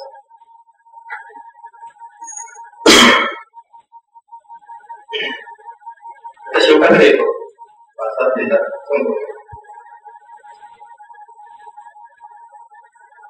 आणि सच्या संदर्भातलं लेखन. ते त्यांचं तीस वर्षात साधारणतः एक बारा तेरा पुस्तक आहे ती गेल्याच्यानंतर आपण काढलेली होती पुस्तक लेख संग्रह. विशेषतः विवेकाचा आवाज भाषणांचा शब्द किंवा प्रश्न तुमचा उत्तर दाखल करायचे एक दीर्घ मुलाखत पण ही बारा चौदा पुस्तक आहेत ही त्यांच्या प्रत्यक्ष कामातून आलेली आहेत परंतु त्या कामाला अभ्यासाची जोडे थिअरी आणि प्रॅक्टिस दोन्हीचं अफलातून कॉम्बिनेशन असतं तेव्हाच अशा प्रकारचं लेखन करण्याला येतं केवळ ग्राउंडवर केलेलं आहे चालू करायची पुस्तकं आली नसते आणि केवळ अभ्यास केलेला आहे वाचन केलेलं आहे इंग्रजी वाचं बाहेरचं विचारवंताचं वैज्ञानिकांचं वैज्ञानिक दृष्टिकोनाचं म्हणून पण असं लिहिणार ते दोन्ही परस्परांना पुढे घेऊन जातात. तुमचं वाचन असेल तेही चांगली पक्की असेल किंवा पक्की करत गेला तर तुमचं जे काम आहे प्रत्यक्ष फील्डवर्क आहे ते अधिकाधिक अचूक होतं कमी वेळात होतं दर्जेदार होतं. आणि उलट जर फील्डवर आपण काम करत असतो जी काही तुम्ही थिअरी शिकलेला असाल ती थिअरी अधिक अधिक मॉडिफाय होते. विकसित होते. ऍक्युरेट होते. दाभोळकरांच्या सर्व लेखनाच्या केंद्रस्थानी पहिला मुद्दा जर कोणता असेल तर मला वाटतं थिअरी आणि प्रॅक्टिस आणि कार्यकर्त्यांनी हे कायमचं ध्यानात स्वाभाविक हे सगळ्यांना सारखं प्रॅक्टिकल करता येईल. खूप मोठ्या प्रमाणात. किंवा सर्वांनाच थिअरी वाचता येईल असं. पण जो कोणी ग्राउंडवर जास्त आहे त्याने याचं भान ठेवावं. की ग्राउंडवरचं काम अधिक चांगलं करण्यासाठी आपण थेरी वाचली पाहिजे. थेरी म्हणताना मला लेखन कोणतेही यानंतर आणि जे कोणी लोक फक्त लेखन करतात त्यांनी याचं भान ठेवलं पाहिजे. ग्राउंड लेवलशी आपला वारा लागला पाहिजे. आपण तिथला अनुभव सतत सातत्याने या नात्या प्रकारात घेतला पाहिजे. तर त्यांच्या लेखनाचा आणि कामाचा हा एक खूप महत्त्वाचा दुसरं भारतीय संविधान आणि गांधी त्याच्याबद्दल मी परत रिपीट करत नाही. परंतु ते त्यांच्या लेखनाच्या केंद्रस्थानी म्हणजे एक न संपणारा प्रवास. याच्यामध्ये त्यांनी लिहिले की अजूनही मला गांधी म्हणावं हा म्हातारा मला अजूनही पुरेसा कळला नाही. त्याने हे सगळं कसं घडवलं याच्याबद्दल माझ्या मनात अजूनही कुतूहल आता हे त्यांचं वाटतं. एक न संपणारा प्रवास दोन हजार सात ला लिहिलेला लेख आणि लगेच रुग्णाबाई सिनेमाबद्दलचं मी आता बोललो ते त्यांचं वाटतं. आणि वयाच्या चाळीशीच्या आधी अन्यायाचा त्वरित प्रतिकार आणि स्थानिक पातळीवर असे असंख्य प्रश्न मौजूद आहेत असं वाटणं हे सगळं गांधींना रिलेट आहे. दुसऱ्या त्यांचा महत्त्वाचा मुद्दा काय आहे? तर जबरदस्त कन्व्हिन्सिंग पॉवर अशा प्रकारची कन्व्हिन्सिंग पॉवर मला जे कोणी मी नेते मराठीतले महाराष्ट्रातले पाहतो. राजकीय असतील सामाजिक असतील सांस्कृतिक असतील कन्व्हिन्सिंग पॉवर इतकी जबरदस्त मला दुसरं दिसत नाही. त्यांचा प्रभाव निर्माण होण्याचं एवढंच नाही. तर अशाच माणसाकडे शत्रूचं इतक्या टोकाचं लक्ष जाण्याचं एक कारण ते पण नाही तर आक्रमक आणि प्रक्षोभक भाषण करणारे काय एका बाजूला यांच्याकडे जबरदस्त कन्व्हिन्सिंग पॉवर आहे आणि त्याच वेळी यांच्याकडे जबरदस्त संघटना आहे. जी महाराष्ट्राच्या कानाकोपऱ्यात पसरलेली आहे. आणि जी म्हटलं तर दाखवायला फार नाहीये. तर ही कन्व्हिन्सिंग पॉवर त्यांची कशी आहे त्याचाही संबंध मी आता मागायला करतो ते प्रत्यक्ष कामाने केली संविधान गांधी हिंसक मार्गाने लढा डेमोक्रेसीच्या संदर्भातल्या वाक्या धारणा. सुरुवातीपासून आता त्यांना घरातून मिळालेला वारसा होता. सभोवतालचं वातावरण पाहत आले होते. अनेक गोष्टी असतील त्याच्या आपण खूप विश्लेषण करता येईल असं मला वाटत नाही. पण काय होतं हे तरी सांगू शकतो. आणि एक मुद्दा तुम्ही मला सांगितले की लहान असतो नाही तर मोठा त्याचं जे चांगलं असेल ते घ्यायचं जे नको आहे ते बाजूला सारखा. हे तीन त्यांच्या व्यक्तिमत्वाच्या लेखनाच्या भाषणाच्या केंद्रस्थानी कितीतरी वेळा असं बघितलं की ते वाईट घ्यायला ते टीव्हीवाले लोक यायचे. तर ते असं म्हणायचे की बरं काय विषय ते म्हणायचे तसं नको. तुला किती वेळेस हवंय? तुम्ही बोला आम्ही करून घेऊ ते म्हणायचे नको तुला हाच विषय मी दोन मिनिटातही सांगू शकतो वीस मिनिटातही सांगू शकतो आणि दोन मिनिटातही सांगू शकतो. तुला किती वेळ पाहिजे तेवढं सांग. आणि त्याप्रमाणे करतो फक्त सांगणार दोन मिनिट आहे तीन मिनिट मग त्यांची ती पद्धती होती. जे काही आपल्या मनातला विषय पटकन क्रिस्टलाइज म्हणजे मी पुढे रेखाचित्रात तुम्हाला देईल तुम्ही जेव्हा एखाद्या विषयावर डिटेलिंग करता तेव्हा ते रेखाचित्र. आणि माफक रेषा मारता तेव्हाच रेखाचित्र. आणि दोन तीन रेषा मारता तेव्हा चित्र. झाड दाखवायचं असते किंवा गांधीची टेप दाखवायची असते. तर गांधीजी तुम्हाला पन्नास रेषातही दाखवता येतील पाच रेषातही दाखवता येतील आणि खरं तर एक रेष दाखवून पण तुम्हाला गांधी चित्र काढता येईल. झाडात खूप डिटेलिंग करता येतील आणि दोन तीन रेषामध्ये काढता येईल. तर हे तंत्र हे त्यांनी आत्मसात केलेलं होतं आणि ते सतत शिकत राहण्याची वृत्ती हे डॉक्टरांना खूपच महत्वाची आता माझ्याकडे सगळं आहे. आणि अति हे छोट्या छोट्या गोष्टी जे स्मॉल थिंग्स मधलं सौंदर्य किंवा सिंपल ट्रूथ हे समजण्याची ताकद डॉक्टरांच्याकडे जेवढी होती ती एक मला खूपच कमी लोकांच्या मध्ये बाहेर मी त्याची उदाहरण काही वेळा दिले जसं प्रश्न तुमचा याच्या प्रास्ताविकामध्ये मी दिले की त्यांनी वीस पंचवीस प्रश्न एका कागदावर एक एक एक देऊन आणलेले होते. आठवी कागदावर आणि मी त्याच्या संदर्भात की असं नाही चालणार स्वतंत्र पाहिजे. प्रत्येक पानावर पाहिजे. मोठ्या टाईपात पाहिजे. ती चिठ्ठी एवढीच पाहिजे. ते त्यांनी सगळं करून घेतलं होतं. आमच्या परितोष थोडे नावाच्या अतिशय घाईची वेळ असतात म्हणजे बारा वाजता तिकडे जायचे दहा वाजता सांगतो की असं असं एवढंच नाही तर त्यांना कल्पना आवडली. त्यांनी तसं दुसरा एक काढायला होता स्वतःकडे प्रश्न ठेवले. त्यामुळे ती मुलाखत घेताना आमच्या दोघांच्या हातात प्रश्न आहे याची कल्पना कोणाला येते दिसत पण किंवा ती मुलाखतीच्या वेळी त्यांनी त्यांच्या नजरेसमोर घड्याळ लावायचं आणि प्रत्येक प्रश्नाचं उत्तर तीन ते साडेतीन मिनिटात सांगायचं आणि माझा प्रश्न अर्धा मिनिट ते पाऊन मिनिट सांगायचा असं आमचं नियोजन होतं. आणि या प्रकारे अशा आलेल्या सूचना त्याची अंमलबजावणी त्याच्यामध्ये ते माहिती कितीतरी वेळा प्रास्ताविक करायचे असतील तर ते कधी जाधव सर असतील प्रधान सर असतील मी असेल अपरिचित विषय असतील तर पटकन एक दोन तीन वाक्य जर घेतली तर ती क्रिस्टलाइज करून त्याचा गाभा काय आशय काय तो कसा डेव्हलप करता येईल कसा रिलेट करता येईल म्हणजे ज्याच्या कोणाच्या मूळ कल्पना असतील त्यापेक्षा अधिक चांगल्या पद्धतीने ते मांडू शकतात. तर हे सगळ्याच प्रतिबिंब तुम्हाला त्यांच्या हे दहा बारा पुस्तकांच्या मध्ये पाहायला मिळेल. त्याच्यामध्ये काय त्याच्यामध्ये फक्त नाट्य बहुतेक पुस्तकामध्ये त्यातल्या काही पुस्तकात जास्त नाट्य त्याच्यामध्ये एक निर्भयता जी जी आणि जी विविध वाक्य निर्भयता नीती विज्ञान हे सगळं त्याच्यामध्ये बघायला जनुसूत्री आणि सची ती त्यामध्ये पाहायला मिळते. आणि म्हणून मी मागे पण दोन तीन वेळा वेगवेगळ्या ठिकाणी उल्लेख केला होता की साहित्यामध्ये किंवा लेखन व्यवहारामध्ये ग्रंथ व्यवहारामध्ये असे काही प्रवाह आहेत. ते प्रवाह कदाचित अजून खूप लोकमान्यता पावलेले नाही ते परत कोणाला तरी काम करावं लागतं इंटरप्रिटेशन करावं लागतं त्याशिवाय ते होत तर अंधश्रद्धा निर्मूलन चळवळीचं साहित्य हा प्रवाह मराठीमध्ये नीट जर डिफाईन केला तर व्यवस्थित तो वापरला जाऊ शकतो. त्याची चर्चा चिकित्सा होऊ शकते. आणि त्याचे प्रणयते अनेक अन्य लोकांचे पुस्तक आहेत पण डॉक्टरांची बारा पुस्तकं ही त्याच्या बेसला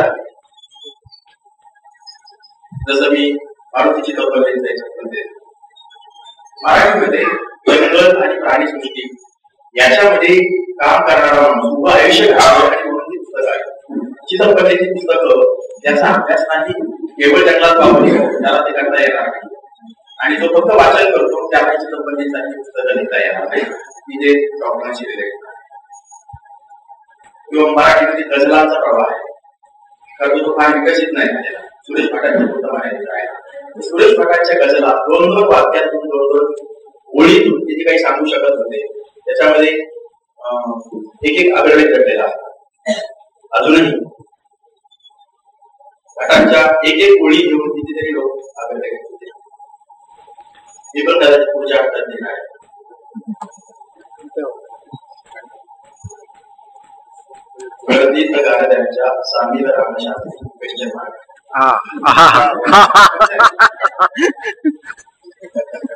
क्वेश्चन मार्क आहे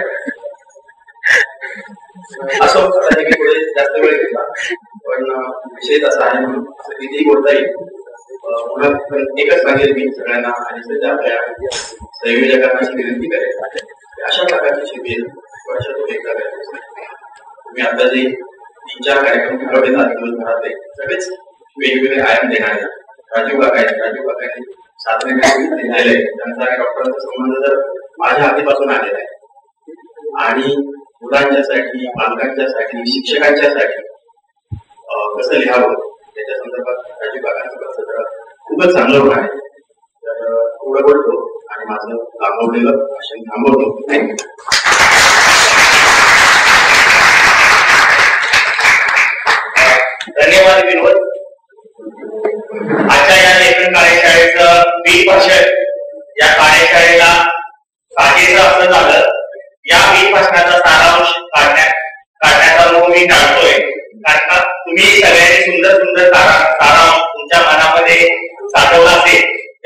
सर्व अजिबात करू इच्छित नाही. हे सर्व बिन भाषण आपण आपल्या युट्यूब चॅनेलवर टाकणारच आहोत. तर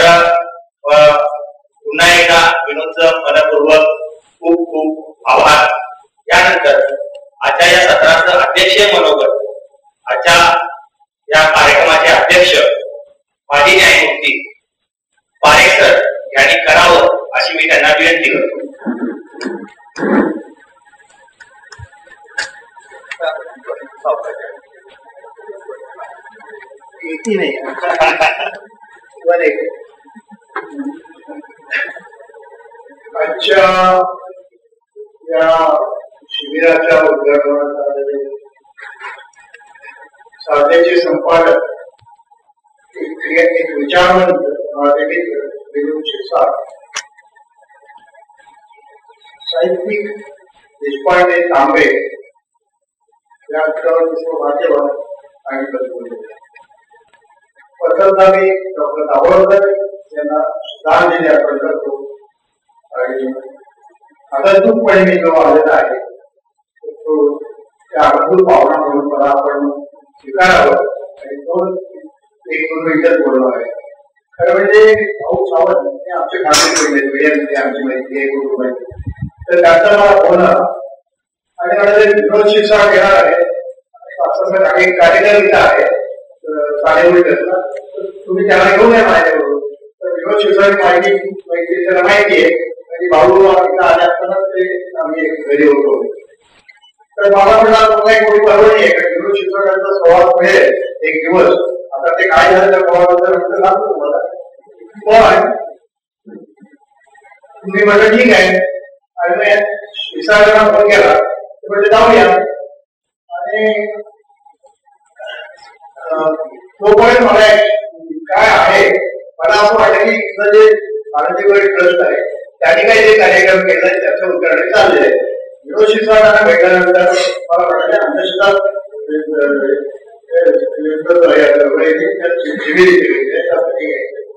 आणि इथे काढल्यानंतर थोडासा जे वेळ ते म्हणजे मला आलं तुम्ही न्यायाधीश तिथं बोलतो चिंतेला वाचतो तिथं जातं उदाहरण आपण मला तरी पकडलं ठीक आहे? तर पहिली गोष्ट अशी आहे की काही तरी माझा न्यायमूर्ती म्हणून केला तर न्यायमूर्ती हायकोर्टच्या न्यायाधीशाला म्हणतात. तेव्हा न्यायमूर्ती समोर येते जिल्हा न्यायाधीश पण खरं न्यायाधीश म्हणून सुद्धा आम्ही निवडून घ्यावं हा प्रश्न आहे. आम्ही त्याला निकाला विचारू निकाल देतो पण न्याय देतो का डॉक्टर आरोग्याच्या बाबतीत आपण पाहिलं न्याय मिळाला का? तर हा प्रश्न म्हणजे खरोखर मला प्रामाणिकपणे पडतो निकाल आपण देतोय का? हा बरोबर? दुसरं म्हणजे मला तो जास्त बोलायचं बोलायचा प्रश्न आहे कारण काय? आयुष्यभर आम्ही ऐकतच होतो.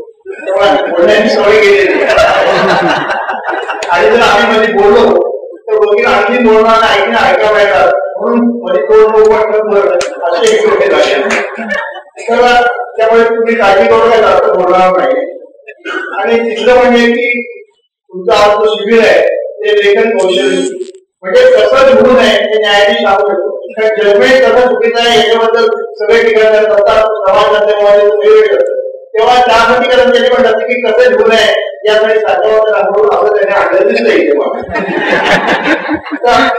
पण त्यासाठी सगळ्याची दक्षता घेऊन मी आठवतो गेला मला एक झालं की आपण दाभोळकरांच्या बाबतीत की मला बेसिकली आपण प्रश्न वाटतो की काय वाटतं ते आपल्याला माहिती पण असं का व्हावं याचा आपण प्रत्येकाने विचार केला पाहिजे की या समाजात नकोच असं काही लोकांना वाचणं असं काय काय दाभोळकर धर्माला जाऊन नव्हते देवाला जाऊन नव्हते फक्त अंधश्रद्धा बोलणं अंधश्रद्धा एवढी त्याला का साथ त्याचं कारण मला तुम्हाला काय आले काय करायचे मला पण मला वाटत असं कारण त्याला अंधभक्त बनवता पाहिजे कारण त्याला अंधभक्त बनवण्याची जास्त गरज आहे.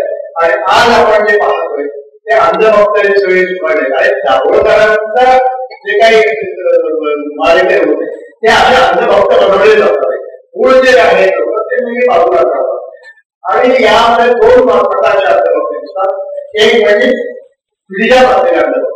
ते संस्कार झाले आणि दुसरे यांनी मुद्दाम संस्कार करून त्याला देवाच्या धर्माच्या नावावर टाकून तयार केले. आणि त्यांच्या करवी त्यांच्या करवी हे दाभोळकरांसारखे म्हणजे मला असं वाटतं दाभोळकरांचं जे काम आहे, आजच्या सगळ्या वेगखारी वातावरणात, ते पुढेपेक्षा जास्त तर आज खरी गरज आहे समाजाला त्या अंधश्रद्धा, पूर्ण अंधभक्त कमी होणार आहे. अंधभक्त त्या काय आहे, अंधश्रद्धा कमी करणे त्यातूनच अंधभक्ती होणार नाही, असं होऊ शकेल. आणि त्यामुळे हे काम किती कठीण आहे हे आपण पाहिजे पाचडीचं झालं झालं, तेव्हा हा ह्या ते या समाजाला आपल्या आणि जंगल वाढवायचं वाईट आहे.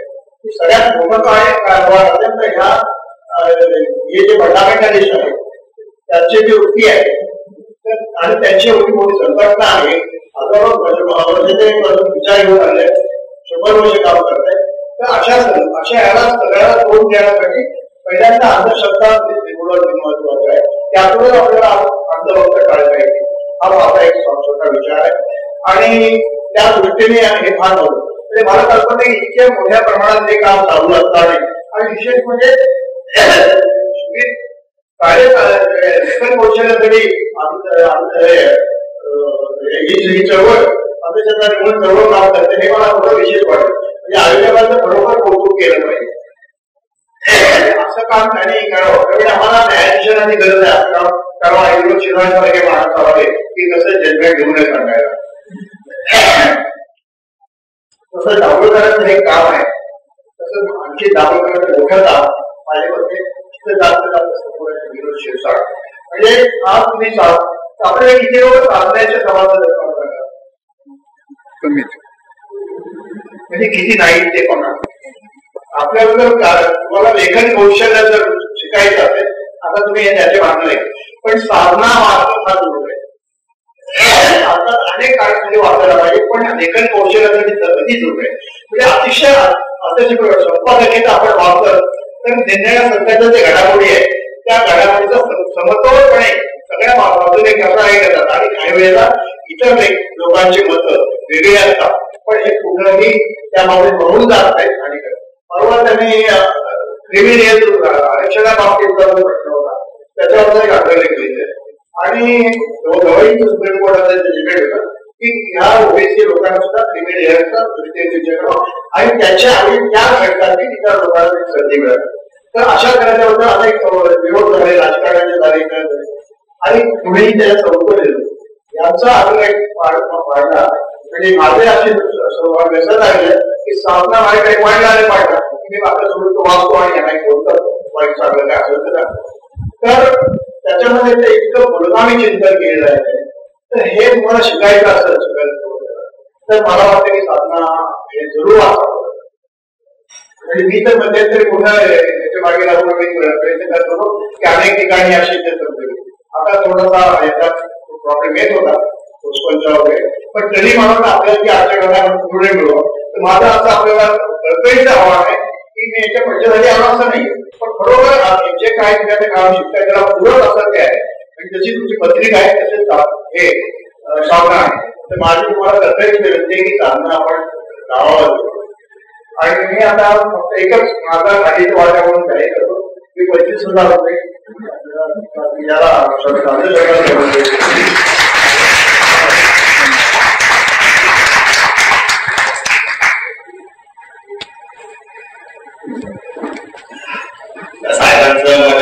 आभार. साहेबांनी आपल्याला अंधश्रद्धाने समितीला त्यांनी दिल्याबद्दल आणि न्यायमूर्ती असतानाही ते पूर्व न्यायाधीश असतानाही पुरोगामी विचार किती अवघड असतं आजच्या परिस्थितीत सुद्धा तुम्हाला सगळ्यांना कल्पना असेल? यानंतर आजच्या या सत्राचा समारोप हे रायगड जिल्ह्याचे अध्यक्ष विवेक सुबेकर यांच्या आभार प्रदर्शनानं होईल. त्यानंतर कुणीही उठायचं नाही.